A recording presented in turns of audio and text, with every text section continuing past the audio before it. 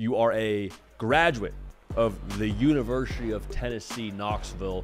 How are you feeling about Tennessee overall this year? I mean, win total aside, you, you, the Nico era, Josh Heupel has another year in the system, uh, another year rather at the school to allow his system to permeate that team. How do you feel vibe wise around Tennessee heading into 2024? Oh, off season, it's always sky high, JD. It feels like 98, going to win the SEC, headed to the playoff.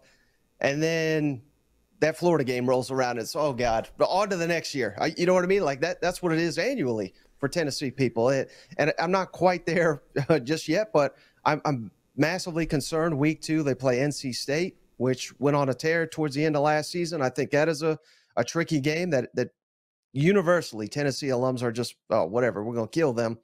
Well, you know, I think they're going to be preseason top 25. Can't completely overlook that one.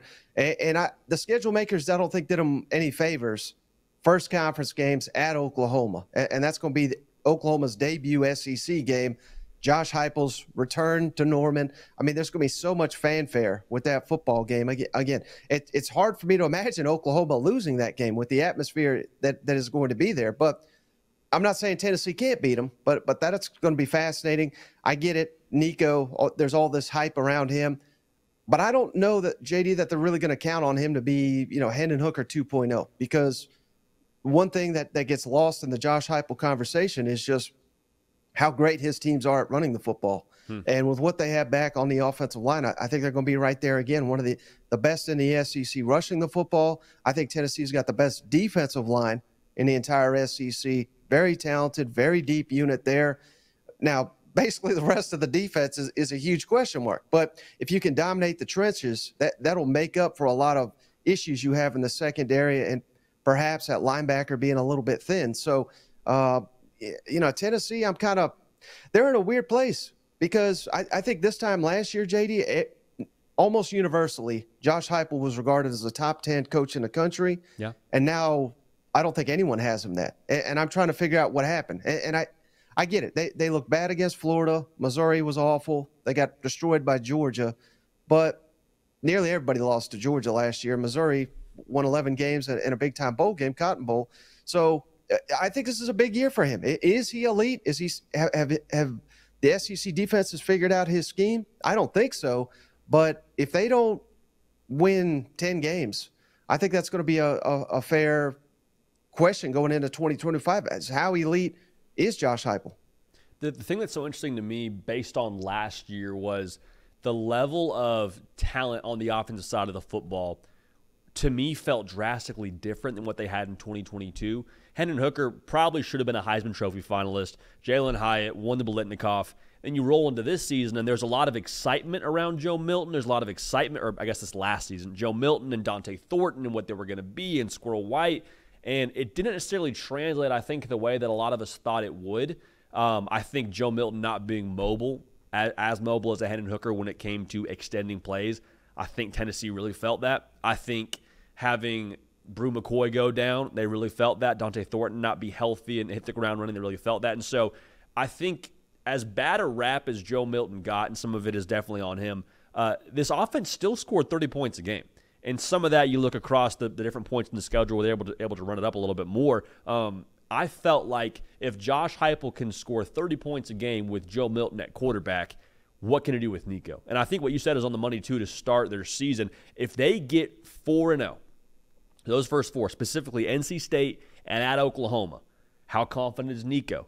How how how high is the vibe in that locker room? How how high is the confidence across the team? And I think if they can get to four and zero, oh, that to me not just from a mathematical standpoint, but from a trajectory standpoint, I'd feel really excited and really optimistic about hitting that 10 win mark. Right. And if you look at Josh Heupel's numbers last year, it was it, it was the worst offense he's put on a on a field and they won 9 games. Yep. I mean, if that's if that's the worst and you're winning 9 games in this conference, uh, you know, I think that says you're one heck of a coach and uh, I believe their scoring in the SEC was like 45 points per game in conference play, and then it jumped down to about 28.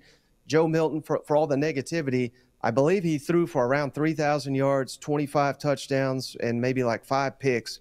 Again, these are bad numbers. Uh, it just tells you how ridiculous offensive production Heupel and company are used to putting up. And if they can get even close to that, Tennessee is going to make the college football playoff. But uh, I, I, can't.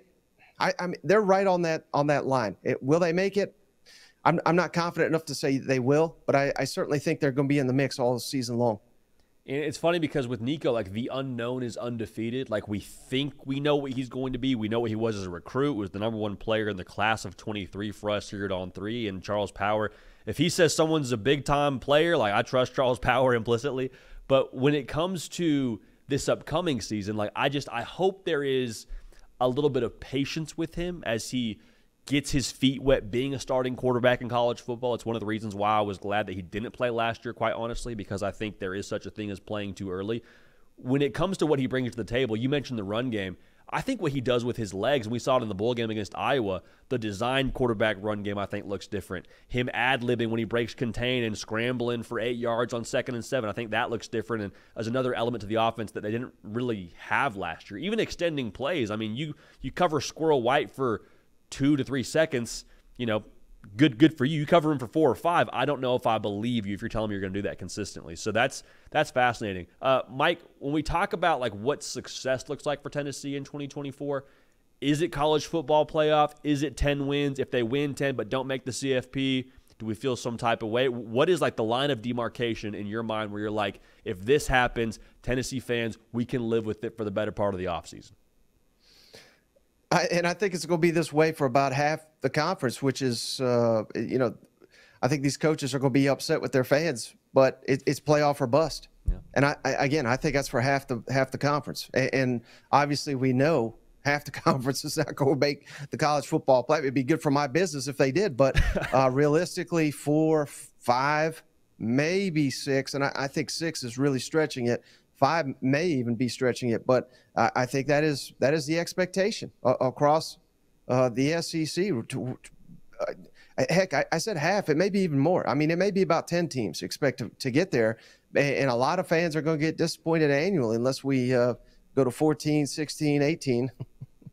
and who's to say we're not going to that here in the near in the near future? I see the see the NCAA tournament talking about expanding the March Madness. I'm like, are we sure that's a, we we want to do that? Okay, it's I get it. It'll make money. You do do what you want to do, but I wonder uh, that's a whole other show in itself, Mike. We could definitely uh, we could we could go down a rabbit hole on the uh, on the playoff structure. But I'm with you. I think when you open up the field to 12 teams and how good the SEC is and how good I think a lot of these rosters are, like yeah, okay, we are one of the top 12 teams in America, or we expect to be, and if we're not, you know, we got some problems. Hey y'all, thanks so much for watching. Subscribe to the channel here to make sure you don't miss an episode of The Hard Count. Also be sure to check out other videos on the On3 YouTube channel.